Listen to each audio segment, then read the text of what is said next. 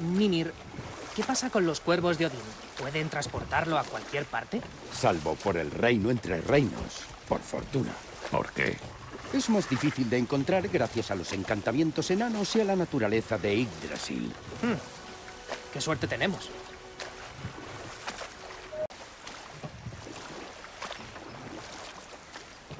Mimir, hace poco hablaste de los cuervos de Odín. ¿Qué le impide utilizarlos para aparecer de la nada y secuestrar a todo el que quiera? El consentimiento. La única forma de viajar con los cuervos de Odín es eligiéndolo. Ah, pues no está tan mal.